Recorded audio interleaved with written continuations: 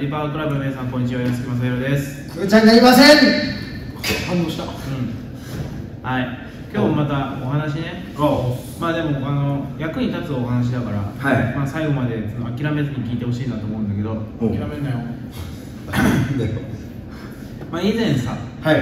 あの前回かあの話したよね。なんでここで落ち込まなきゃいけないのかっていう。ああすごいいい話だった。そうそう。技術を練習するための設定の話はい。うん、したじゃん。で今日はその技一つに対してどこまでのものを用意しなきゃいけないかっていう話をしよああなるほど。技一つのものでどこまで？ううん。はい。三角締めとか。そうそうそうそうそう。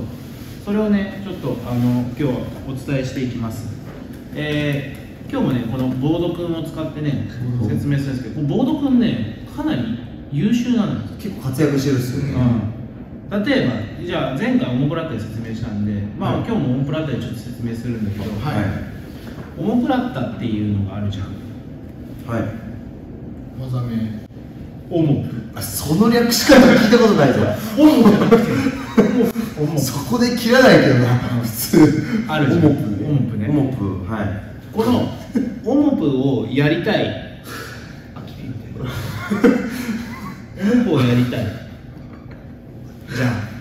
んあきくみたい本当に？うん。で練習でこのオモプをやろうとばっかりしてるとダメっていう話をしたじゃん、はい。はい。でそのその、えー言ったらその工房を今成立してる工房を外しちゃいけませんよっていうはい。話ねでオモプラットにやりたい人っていうのはそれに近いところの工房をしてるはずなの、はい。現段階で、うん。使えそうだからオモプラッタに行け行きたいなって思ってるうん。人が多いのああそうか。自分とかはやっぱやろうやろうとまだしない。そうそう。ディープハーフ使ってるのにオモプラッタ行きたいなって思ってるやつはもう死んだ方がいい、ちょ考え直せ。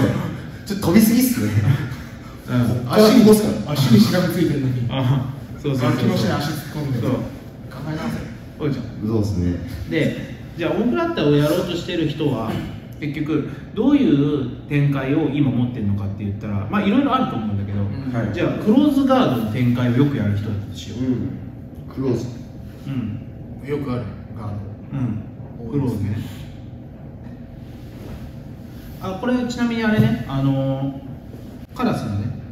カラス？うん。カラス？高校のあのあああのワンスあのヤヤンキー。前のあのいやみんな中学生の時に一回見るやつ。そうそうそうそうそうそうそうね。ここまで見たな。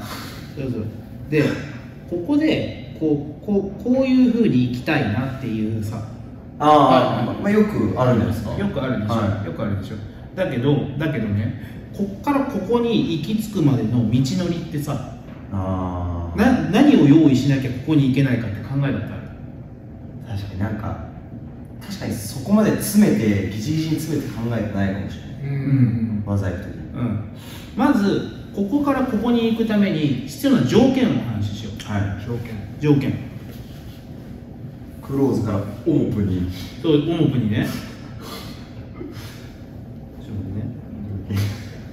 えーまずクローズを割られないことでしょ。そうですね。まあまあまあ。あディフェンス。割られちゃったらね元も子もないですもんね。そう割られないこと。で、えー組手争いはい。ができてる、できてる。はいうん、そうクローズガードの中でね。うん。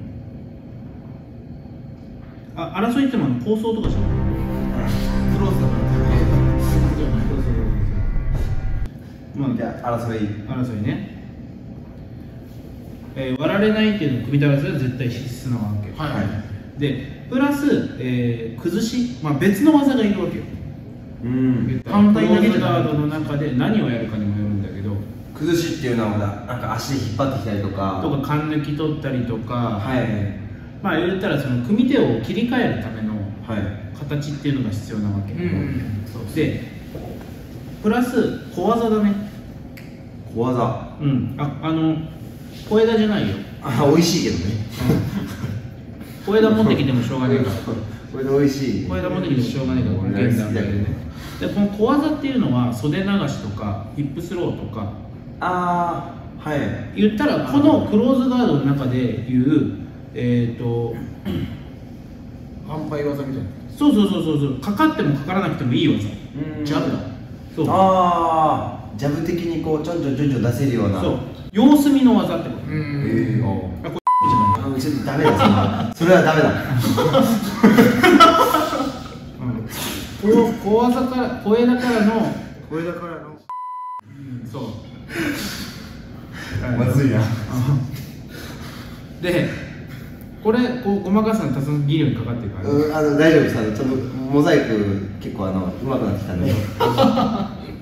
でこれでまず攻防を成立させるわけじゃん。はい。そうって言ったら。でここに最悪行けなくてもいいやっていいのよ最初は。うん。本国にね。もう分離 うん。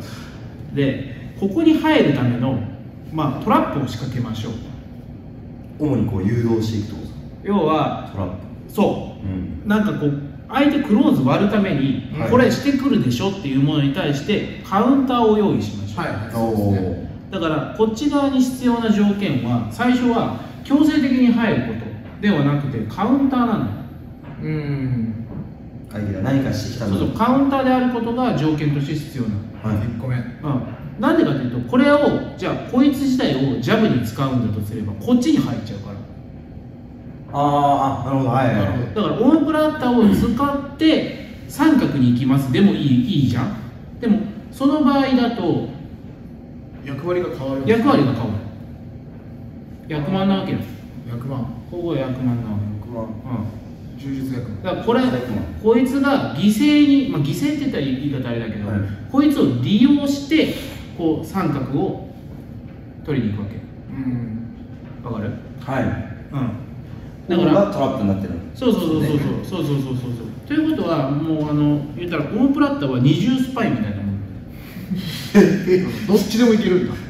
そうそうそうおなるほそうど怪しい存在なんです。うそうこいつに今今三角が最後ゴールになったとしたらオモプは今二重スパイの役割。確かにちょっと偽物っぽいもんねオモプオモプは偽物だとじゃん。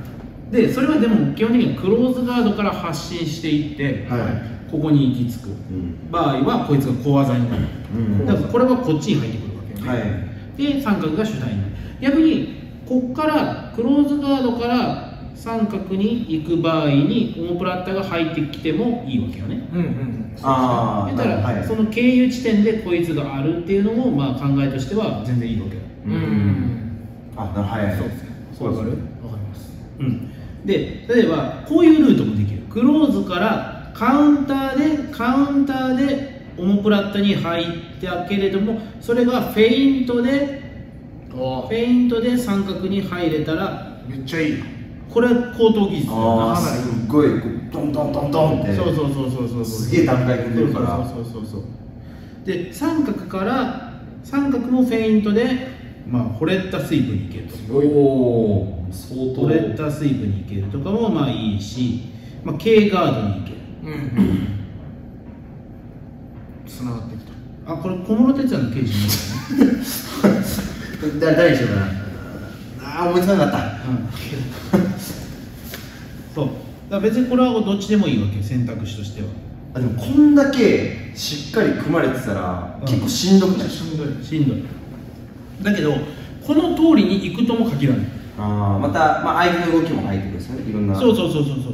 だって別にクローズガードに K ガードに入る方向だってあるしさ、うん。はい。ああそうですねクローズガードからホレットに入る方向もあるわけじゃん、はい。で飛ばしてこう入ってあーあはいね、なんだクローズガードからクローズガードからフラワースイープを使って K ガードに入るのもあるよな。わーってやって。足作ってそうめっちゃある。のあるじゃん。これ見ると呪術ってすごいことやってんな。あそうそうそうそうそう。すごいことしてんな 呪術って。そう。でここで、えーまあ言ったらこうこういう考え方で割り出される結果が何なのかっていうと相手次第ってことなの。うん。どこで終わるかわかんないですよ。うん。う。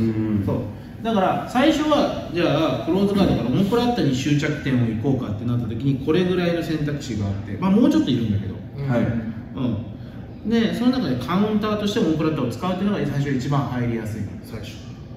だけど最初クローズガードからオモプラッタを罠にして三角に入れるとか、うん。オモプラッタをこう小技の中組みタラスの一部に入れてでも絶対条件としては割られないっていうのが最初ずっと言ってくる。反対パスされる。そう。っていうのが大事になってでまああのクローズガードからラバーガードに移ってオンプラッタとかでも今うのいい。んまあ結構無限に広がるっすよね無限に無限に広がる。でやっぱりその技を言ってる時にじゃあオモプラッタに行きたいですよって言って、まあ、そのクローズガードからバカ正直にオモプラッタだけをかけてる人っていうのはこれ格闘技の技として成立してないんだよ、うん。あーあなるほどはい。うん、なるほ自分がしたいばっかっすそうそうそうそうそうそう。どインプラット競技だと思ってますそうそうそうそうそう。そう競技が。そうななんだったら社交ダンスだと思った方がいい？ああ充実はってことです社交ダンスですか？社交ダンスって女性と男性がこうやって組んでこうやって踊るじゃん。ああはい。だって女性の動きに合わせて男性がリードしていってこうやってうん。一緒に踊っていくわけじゃんこうやっあそうなんですよて社交ダンス習った方が多分充実よくなる。相手の気持ちになって。考え方が変わる。あでも本当そうですね。そう言われたら。そうそうそうそう。だって柔道の技とかもそうじゃんステップに合わせて足からやるとかしてあわかる。こっちに動くんだろっていうのでポンってかけたりする技多いよ。だからうん。ドカーンなりますそうそう。こけがそうそう。なのに柔道のあの人が寝技をやるとなぜかこれをかけたいっていうやっぱスピードを意識するからかな。あなんか一つのものに固執する人がやっぱ多いよね。今だっていうのが言っちゃいます。はい。見ますね。うん。確かそうだから俺が言いたいのは技を何かの技をやりたいってなった時に前後関係をちゃんと考えてうん。その前後関係がその崩れてない攻防の中で放り込めるのであればまあ安定して使えるようになってくるけれども必ずその条件として最初カウンターとして使うように考えなさいよっていう。うん。じゃあそもそもその形にすらならないことが多いからっていう。そういう話だあそうこれをねちゃんと理解してできるようになると、まあ、いつの間にかその自分がやりたかった技が得意技になってるケースっていうのがあるーなるほどうん。だけどスタイルに全然もう合ってなかったらもう最初から全然入れないはずだから。あで入ったとしてもその攻防じ自分のこう今の成立してる攻防自体を崩してるなと思ったらやめたりだけはい。クローズからディープハーフとか書いてたらちょっと。そうそうそうそう。ああそうですね。そうそうそうそうそう。ちょっと飛躍しすぎてそうそうそう。繋がらないとこもやっぱもちろん出てくる。そうそうそうそう。マウンド取らしてから11時目とかね。かなりあそうそうそう。そうすげえ十字取られて。るそうそうそうそうあめっちゃいい話じゃないですか2連続で。うん。だからね柔道の練習する人はねこういうことを考えながらね練習するとねより効率が良くなるとうん。思います、はい。大事じゃない。すごいことしてんな柔術って本当に。ねこれ考えたら。うん、でこんなんですよこれで、はい、今回はもう、はいあの有料で。有料なんだ有料で、これは無料でああこれ無料今回はもう有料であの下に URL を貼っておくのでおあのもっと深くこのことが知りたいという人はあのこ下の URL からあのリンクを飛ばしてもらってであの私の新しく作った、えーオンラインサロンサロンだ。に、えー怪しいぞ。ほのぼの岩チャンネル。に、ちょっと聞いたことあるな。本当に言わちゃってる聞いたことあるな。誰だそれ？えなんか俺も聞いたことあるんだ。ぜひあのえご登録を、えー月額3980円になります。うーん高いか。オンラインサロンギリ高いじゃん。かなり高い気がする。はいそれにはあのうちのねあのなんていうスターのうなぎ大会長。大会長クジラ副会長のあのフォトエッセイとかグラビグラビアアイドルみたいなことして まあそうですね。そそれだったら安いな。私たちの日常が見れるという特典もありますので、うわー。やっば。入っちゃおう俺。はい、楽しみにしてください。ではまた。サブチャンネル始めました。SNS のフォローとチャンネル登録もよろしくね。今日も最後まで見てくれてありがとうバイビー